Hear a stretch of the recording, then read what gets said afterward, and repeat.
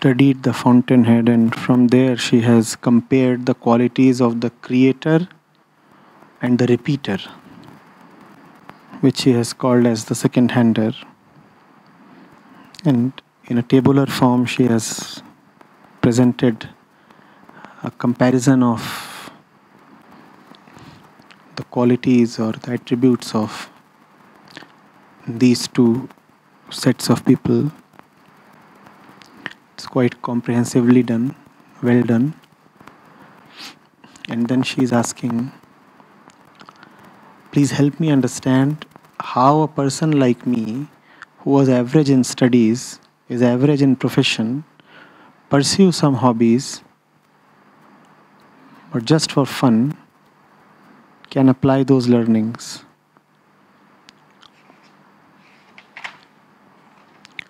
She says, I don't see myself creating anything. My work is regular, where I carry out tasks assigned to me.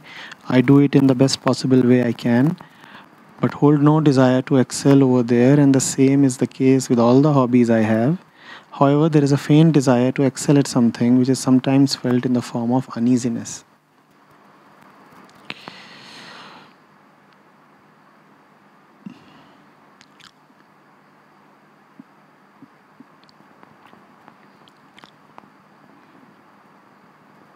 You'll have to grope in the dark a little, Vatsala.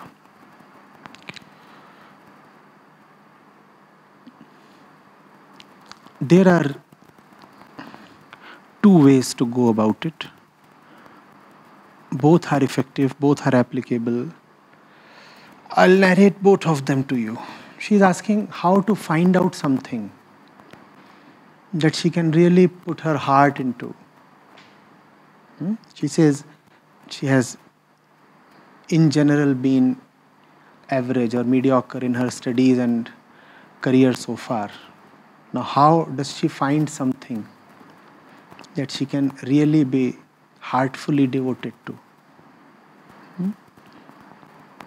And in this, obviously, the inspiration she's drawing is from the figure of Howard Roark.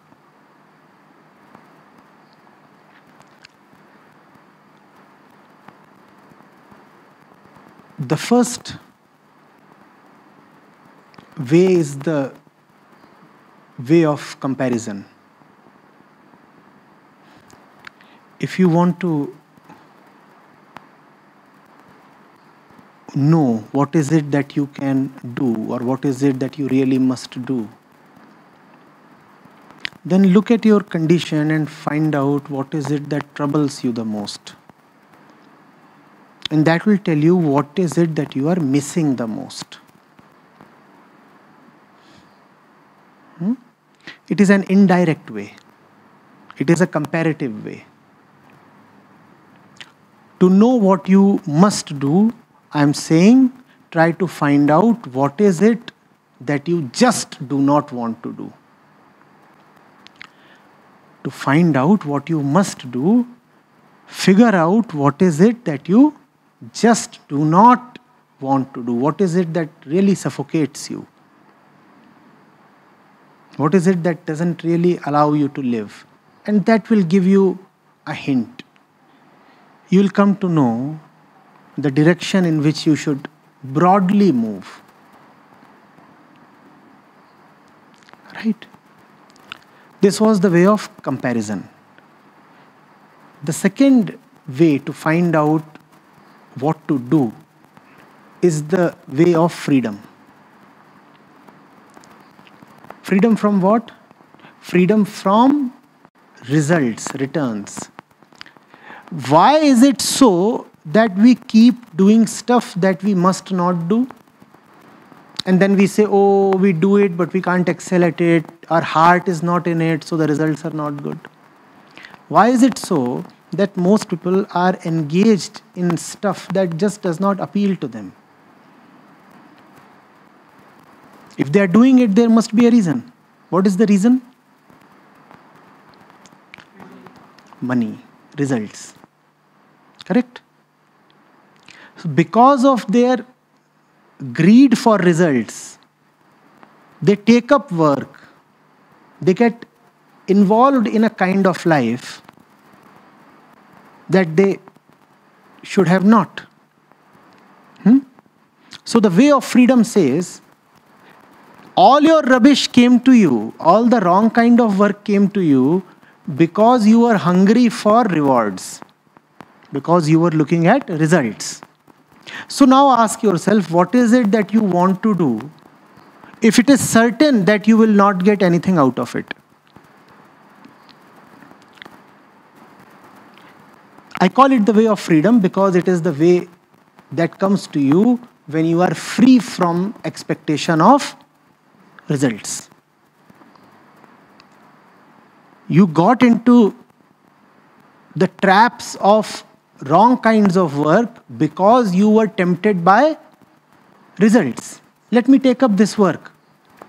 On the 30th day of the month, the result will be good. What will be the result? a nice paycheck.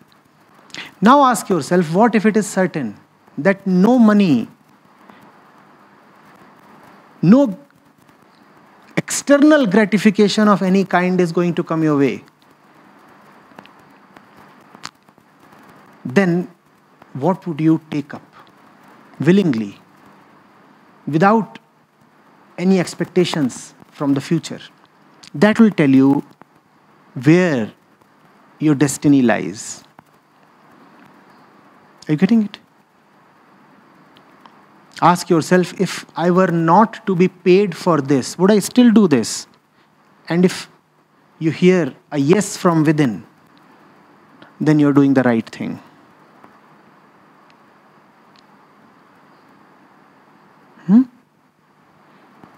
You understood these two methods? If you want to find out what is it that you can pursue, Rather, what is it that you must pursue? The first is the way of comparison. How does that proceed? If you do not know which way you want to go, just see which way hurts you the most. Which way hurts you the most. Just see where your pain points lie. And then move in a direction that takes you away from them. Hmm? Correct? That is one way to get a pointer, an approximate direction. And the other way is the way of freedom. Free of all greed and temptations, what would you want to do? That's what you must do.